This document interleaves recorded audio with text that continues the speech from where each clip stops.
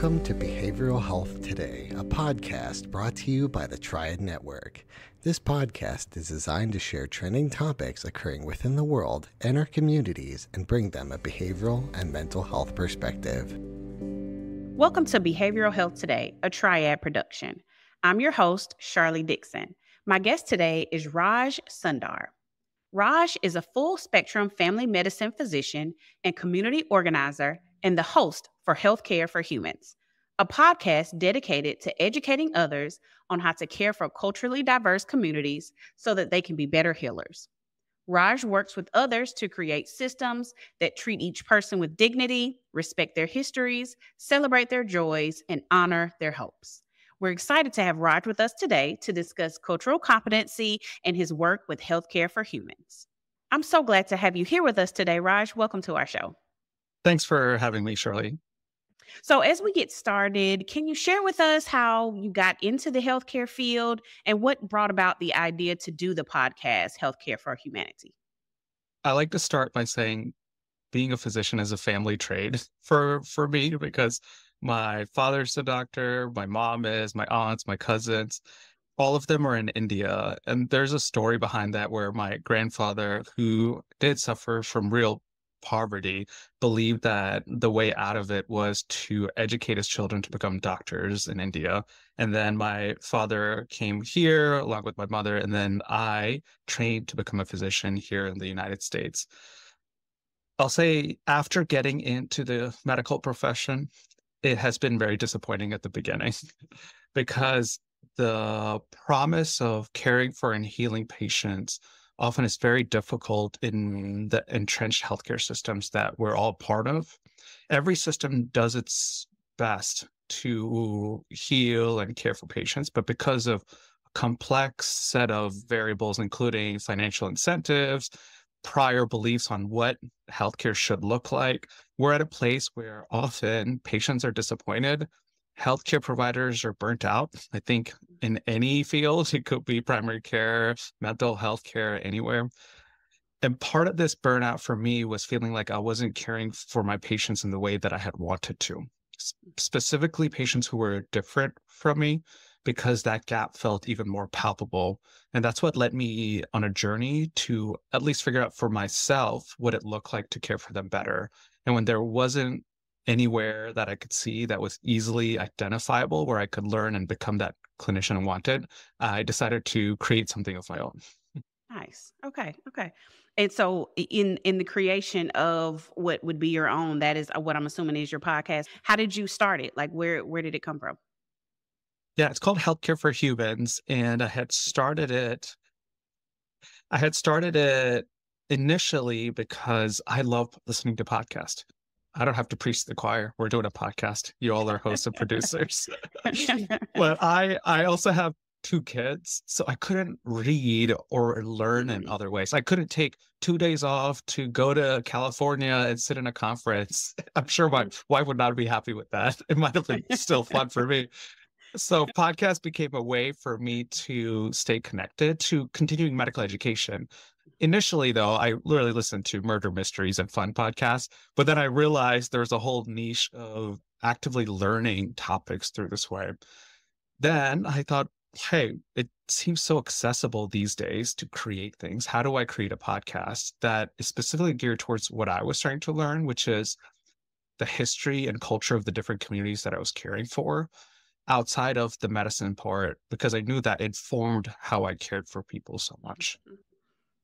Absolutely. Absolutely. So, going back just a little bit, can you mm-hmm. give us your idea of what cultural competency is? What does that look like in the medical profession? Is it something that's taught? How do you get it? What is it? There are probably so many definitions around this topic because people know it's important. They've been studying it for decades. So, I'm going to approach it and answer it in a way that is personal to me and how I felt it and what has led me to understand what cultural safety means. So, my understanding of cultural competence in my experience in medical school was I learn about different culture profiles. Each culture has some profile. I understand how people say hello, what they dress like. Maybe they have three or four values that is really strong and important in their culture. And then I check that off my list. Okay, I got it. That's it. And then when I care for them, I refer back to that profile once in a while.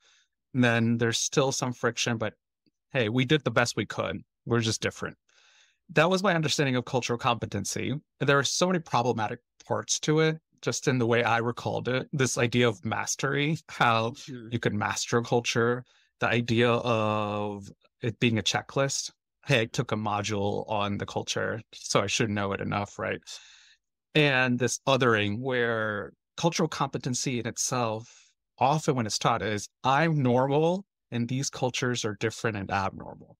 Not always, but it is, hey, healthcare has got this amazing scientific solutions to everything, but these cultures sometimes don't understand it. How can I overcome their values to make sure they understand this amazing thing we have to offer? Can I'm saying that in tongue in cheek a bit, but sometimes implicit in some of those modules is overcoming people's beliefs and values to provide them with care, which isn't necessarily centering the community at all.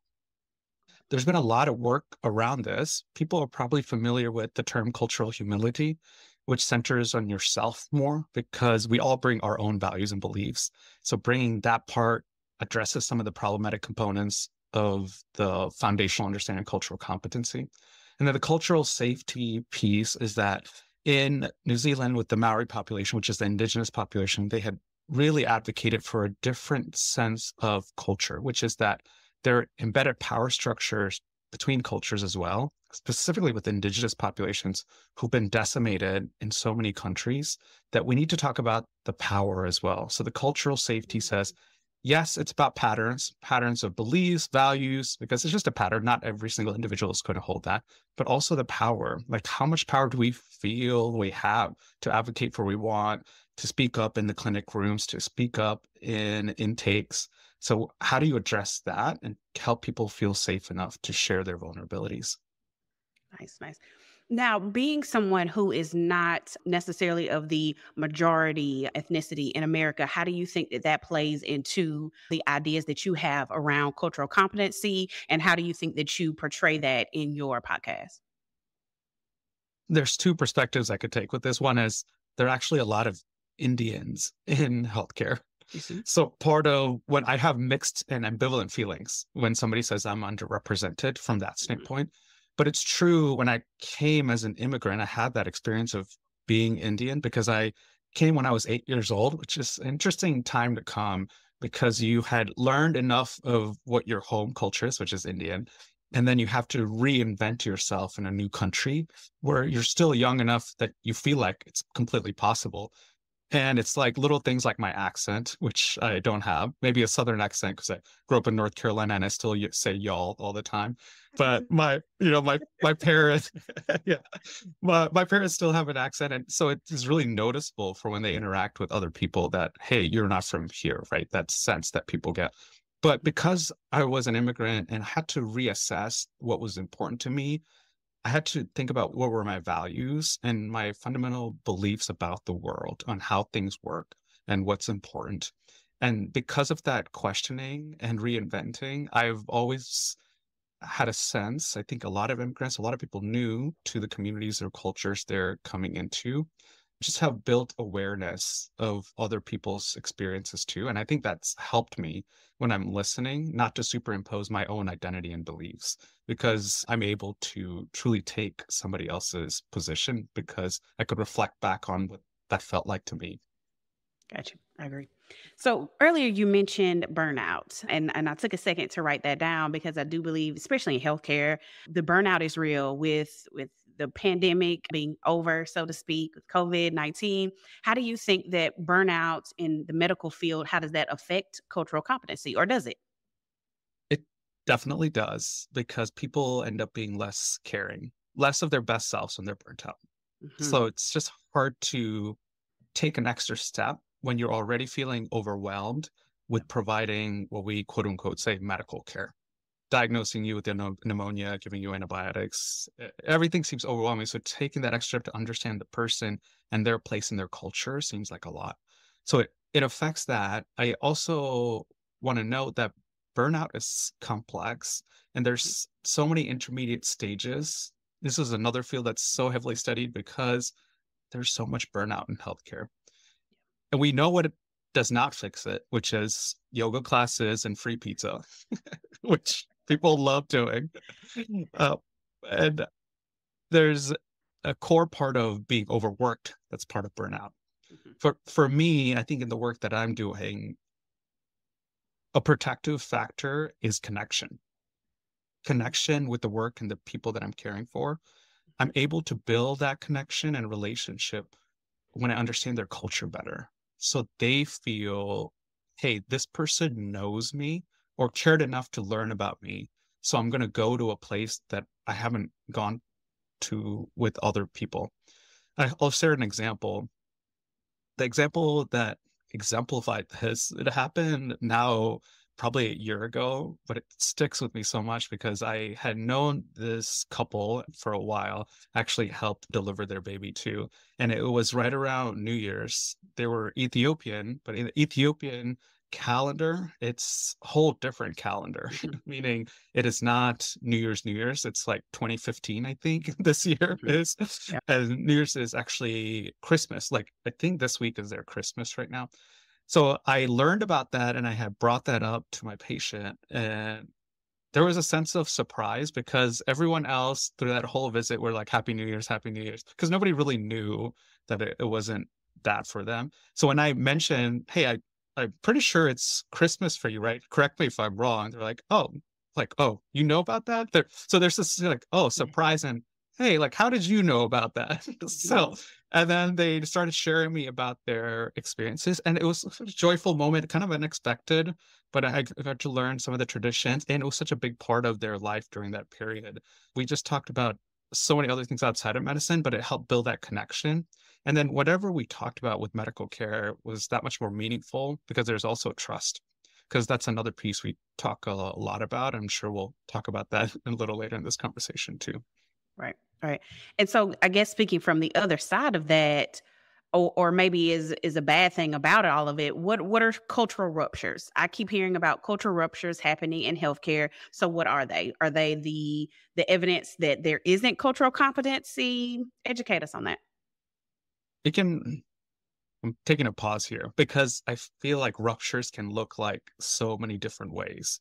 And you probably have experienced it because we all hold a multi-layered identity of who we are as a person mm-hmm. anywhere from being from rural america showing up of a big academic health center to being a woman and being mm-hmm. dismissed about your complaints right that mm-hmm. identity piece and showing up and feeling like because of your identity you're not being given the best care possible and when it comes to cultures that happens in such obvious and harmful ways that everybody in the room can feel it. There's this tension. Yeah, there's not just implicit bias, there's explicit conflict sometimes. One specific situation that I wrote about a while ago was with reproductive care, specifically in pregnancy.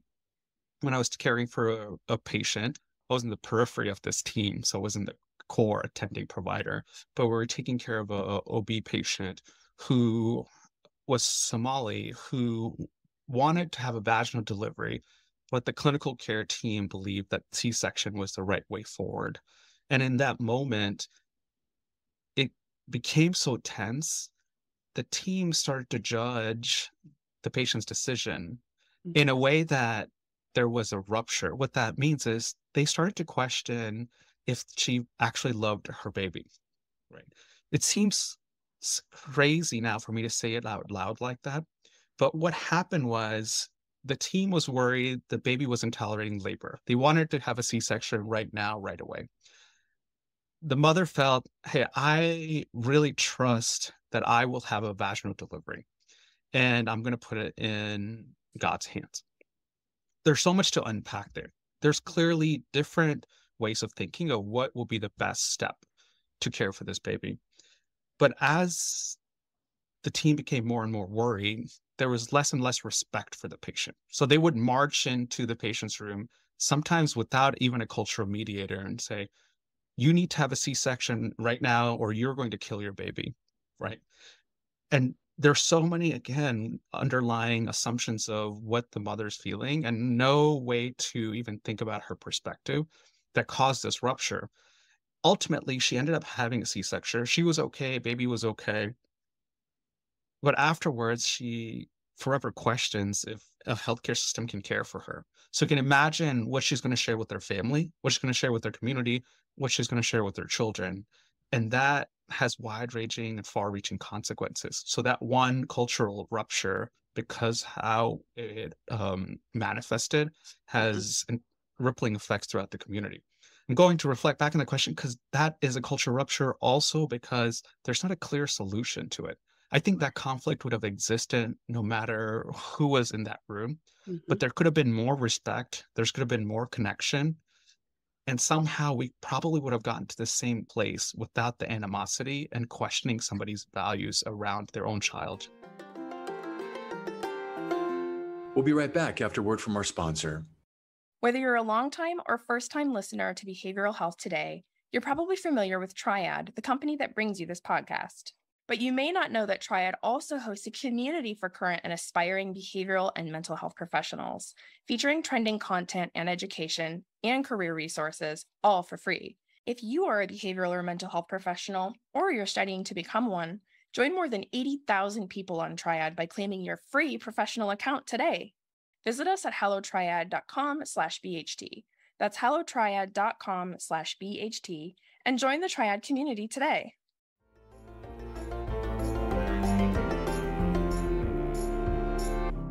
Right. That is that is quite powerful. That story.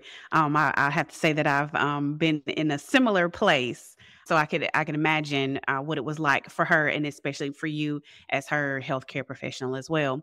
So you mentioned how to word things and how to question your patients. Can you enlighten us on what that looks like? How do you approach questioning in a way to um, really respect someone else's culture?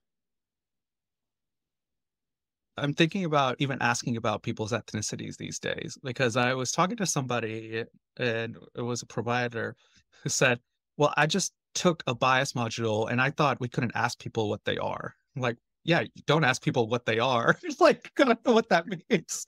it's like, what are you? right? Like, of course, nobody wants to have a question of what are you. It's like, like, right. You know, if you give context on, you know, sometimes, and I'm still workshopping because everybody's different. Of like, hey, it really helps me to understand what communities you're part of.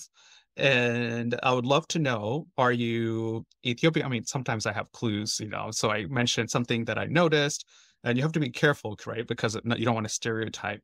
Right. But somehow eliciting what's important to them and their identity can help inform how you care for them because it is part of their identity.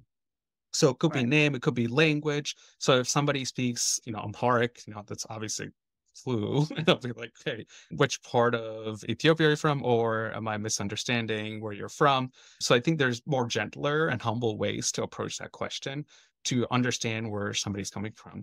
And there's also context you can provide. Hey, helps me care for you better. It's not going to determine how I treat you, but I would love to know because I think we can build a better relationship if we both uh, understand each other's identities. Because I think there's a real reluctance for people now. It's they've been in the healthcare system a lot from because of situations that I just told you about. There's going to be um, bias and racism because now uh, you know that I hold that identity. Maybe you had a bad experience. You're not going to actually give me the care you would have given to that white person back there, right? right. So can it gets so complex, but approaching it with humility and centering the individual in front of you over a period of time is always helpful. Absolutely absolutely and and being able to actually voice that i want to check in with you to see how it feels to be in your world. How can you help me see it from your side? Absolutely agree with you. Yeah. So in in that same vein what kind of work or what sort of work are you encouraging to your peers? How do you help others through the podcast to be more culturally competent or more culturally sensitive First is understanding what communities you're part of. I think we're becoming increasingly isolated yeah. from our place based work because we just go to the place where we do our work and then go home. Some people do connect with community, but you know, people's neighborhoods and what cultures are around you. It takes some work to do that, like connecting with the community center. Here in Washington State, we have health boards, which are intermediary boards between public health and healthcare systems. So, do you know the health boards or the people who lead that and what they're doing, especially if you take care of a large Ukrainian population? Or for me, as I noted, I take care of a lot of Ethiopian population. So I, I know the Ethiopian leaders around this community, which is really helpful. So that step of understanding what communities you're part of is the first one. And then seeing what does it mean to build a relationship with that community? Because ultimately, you don't want to burden the individual or patient in front of you to teaching you everything about their community. Yeah right? This is all a dance because you don't want to stereotype every single individual you see into this community's mm-hmm. narrative. At the same time, nobody wants to explain everything that's happened in their history and context. So, for example, you know, another example that I use that speaks to a specific part of this is with the Native Hawaiian population that we care for in the Pacific Northwest, and how for many folks in that community, they were kicked out of Hawaii because of tourism and how houses became really expensive and they can't even visit their family now.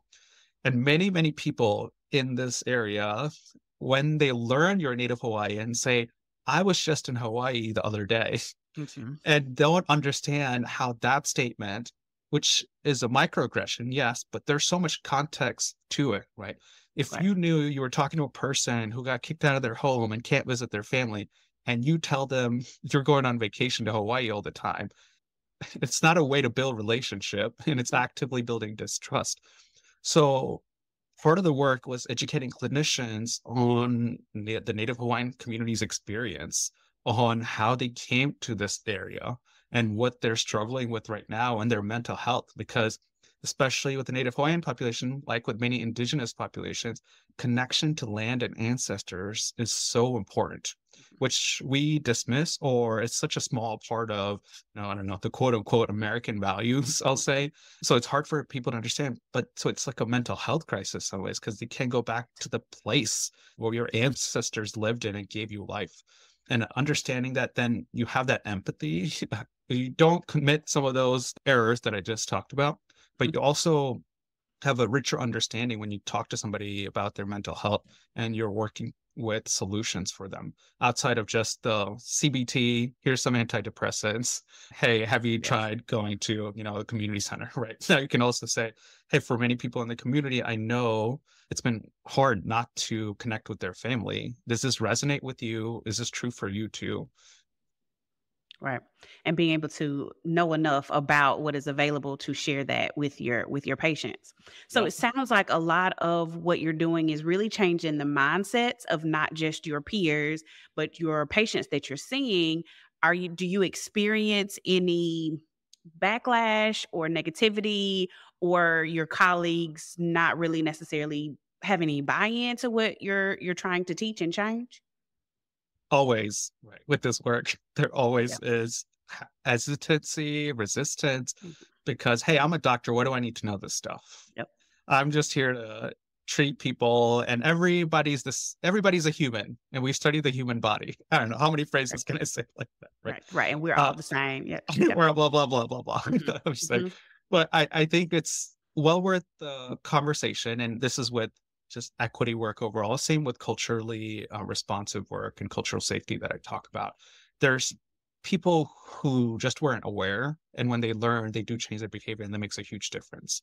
There's some some people it's worth having the conversation with, not to dismiss anybody's experience, but some who are probably distracting you from the work. And this takes some wisdom to know. And I think mm-hmm. you as a uh, community and group have to do that work together. So ultimately, you're treating the patients in the community better. So yes, there's been resistance with clinicians. With patients, the thing to be more most mindful about is stereotyping. So I've had positive experiences with this too, but I'm always in my my head saying, am I saying something that's ending up putting people in a box and in a way that that they don't identify with? So going back to because it's such a big community here, there's a lot of conflict with the Eritrean community and the Tigrinya and the Ethiopian community, and there were some wars um, and conflict there. So I brought this up to an individual who had a Tigrinya identity, who was feeling like they were being persecuted in Ethiopia. I brought it up because I had understood this conflict and I said, Hey, you know, I heard about this protest going on about the Tigrayan community. You know, you speak Amharic, but uh, something doesn't, something feels different in this conversation because then I don't know how exactly how I worded it, but he talked about how, yes, like I haven't called myself Ethiopian in the last five years. I say Tigrayan. So thanks for like asking me about that because it feels important to me but it is not something I bring up with anybody that I feel like holds an Ethiopian identity, like stereotyping this mental health part of connection to their country. So, what is the actual thing that I'm trying to say? it's just can be personalized and individual, which is almost always easier in the context of relationship. Some people don't have luxury of that. You see them one time only and for yep. small moments of time. And you have to do your best to first not stereotype. I'm doing that because first do no harm is what's always right. taught in medicine. And I think because how, how communities have been harmed by racism and inequities, like we need to start with that lens and then attempt to connect culturally if it's important to them. Using myself as an example, I'm from Tamil Nadu, which is South India, which is really different from North India.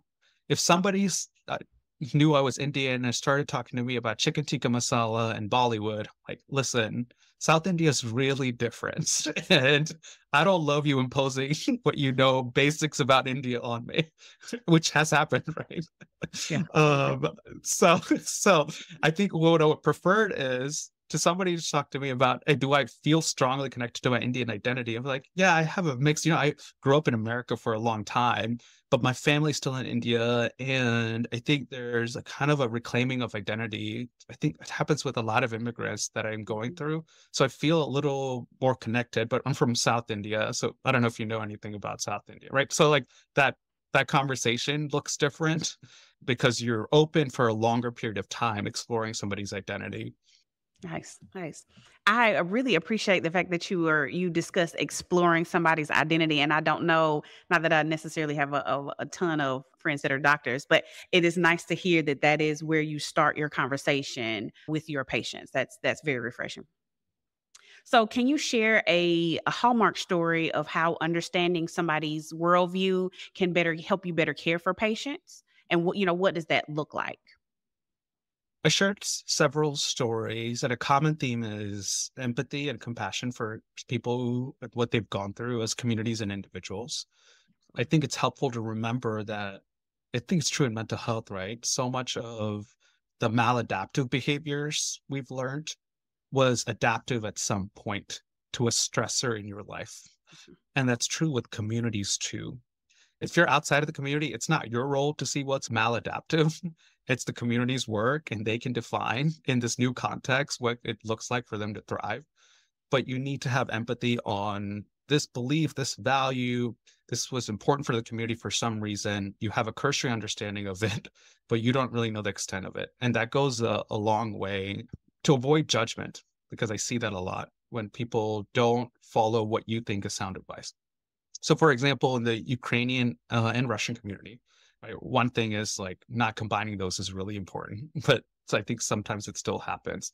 For the Ukrainian community, uh, this resistance, resistance is what sometimes people in healthcare would say, but this reluctance to get preventive screening that has a huge backstory because I've talked to many patients who are saying, Hey, like, I don't know how much longer I've lived. I'm feeling fine right now. Why do I need to do this and spend time? And I don't have the money for this anyway because your insurance is really bad. It's like right. they have a lot of good reasons for why they don't. But from a healthcare standpoint, it is behind on preventive screenings. Didn't get her breast cancer screening, didn't mm-hmm. get her pap smear, clearly doesn't care about her health, right? Like, or else she would be doing this. So right. if she gets breast cancer, it's her own fault. You know, we told you so many times to get it, mm-hmm. right? This it goes there because yeah, like it's it not our fault. Well, like what so I think just building empathy from the start, and then you're able to reach patients even if they have these values or skepticism around preventive care. Because when you build that relationship that's built on trust, sometimes they decide to choose something else hmm. because of you. that is like the best case scenario because of a context you've created, because you helped them understand, hey, in this area, preventive care is important and we know it's really helpful for you. And I know insurance is a problem. Let's see if there are resources to address that. Maybe there aren't, but let's work together and try to figure that out. So, for example, with diabetes, this happens so much for me. And for people who do understand diabetes, who don't, either way, A1C of greater than 6.5 is diabetes, which is an average blood sugar in your blood for the last three months or so. So, A1C of nine or 10 is really bad. A1C of 11 or 12 is really, really bad. Yeah. And I have some patients in the Pacific Islander community who have A1C of 11 I have some patients in the Khmer community who have A1C of 11. Mm-hmm. And I've seen messages from other providers because I know them well who judge them so hard because, hey, you're you're gonna die. It's gonna be your fault when you get a stroke, when you can't see. You know, we told you what to do this. And the story I have here is I have a I had a Khmer patient who didn't want to treat her diabetes because she was really scared of injecting herself hmm. because she's carries a lot of internal trauma from the Khmer Rouge, and there's a lot of backstory to it. Yeah. But the needle provoked a lot of a lot of fears and anxiety, so she just couldn't. And we didn't have many options for her because the pills there were just too many and wasn't as effective as we wanted to. But I was I was with her for so long through different periods of time, through different losses in her family, and there was a pivotal ER visit when she couldn't see because her blood sugar was so bad. She almost was blind. And then they gave her insulin at the ER visit to bring her sugar down, and her eyesight got a little better. But that was so real to her. And mm, like she valued and she felt how hard it was to go through that. And she was also, it was getting harder for her to care for her family members, which was also important to her because she was providing a lot of care that she decided and worked through trying to do insulin little by little. And over a period of time, we were finally able to get it under control, which is a success story. And it's not always mm. like that, but it's a, such a pivotal story because it like brings me so much joy and so much energy to do doing this work. Cause it's like, man, like I just stuck with you. No judgment. You know, I'm here. We're gonna keep mm-hmm. having this conversation because that's my job. I'm sorry. I'm gonna keep telling you, you need this. Are you ready? Are you ready? And then when somebody is ready, because sometimes factors outside of your control, when you're there, you're able to make that change. And being that in a culturally responsive way can be really helpful for a lot of patients. Absolutely. And it sounds like the perfect marriage, so to speak, of trust and connection and just your observance of and knowledge of her culture and where she comes from and being accepting of the things that she's, you know, endured in her life. That's yep. quite powerful.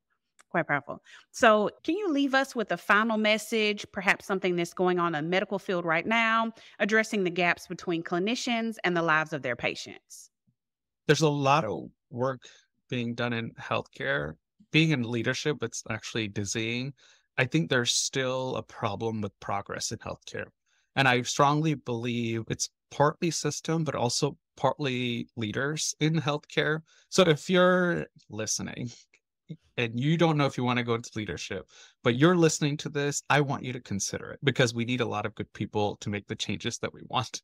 And the take home message from the work that I'm doing, going back to Sharlee, what we talked about earlier was reflecting for yourself what does it mean to build a healing relationship with that individual in front of you? And what all do you need to know so you're not burdening that person in front of you to explain everything? And that could look different in different communities. I think for me, podcasting was the way to do it because I already listened to podcasts. It was fun. I like to create things. And it gave me a, conduit to build relationships with the community because after you talk to somebody for like hour or two you somehow become friends it's yeah. a long time to talk to each other right, right. Um, so it's been helpful in that way for me Absolutely. So I know I personally was able to find your podcast and and I guess some some things on social media, mainly on Instagram. And so I had to kind of scroll through, saw a few of the things that you were posting there, listen to a few tidbits. But where can our listeners learn more about you, learn more about your work, the podcast? Uh, the best place is healthcareforhumans.org. The website has uh, links to all the podcasts. Obviously, it's a podcast, so it's in all podcast players. Um, we do have an Instagram account that has some clips from the podcast, uh, but mostly for me, I'm focusing on one place, which is LinkedIn, to build out um, ways to communicate as I'm learning things. Because I think that's what happens. You all are podcasters too. We have so many of these conversations.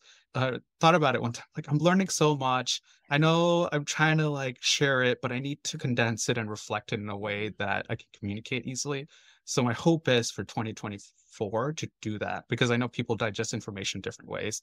Uh, not everybody loves podcasts like I do. I still don't know why, but for everybody else, uh, short written form and things like that. Nice, nice. And so, given that, make sure listeners you check Raj out on LinkedIn. I know that I will be um, looking for you there because now I have some additional questions um, and things that I can work with my own clients with. So, thank you for sharing that. Um, and thank you, Raj, for being here with us on our show today. It has been a great time chatting with you. You as well. Thanks for having me. Thank you. And thank you to our listeners for joining Raj and I. The resources for this episode and an archive of all of our other episodes can be found on our webpage at triadhq.com slash BHT. And we look forward to having you back with us next time on Behavioral Health Today. We appreciate all the support from our community, and if you like our show, one of the best ways you can support it is by giving us a five star rating and leaving a review.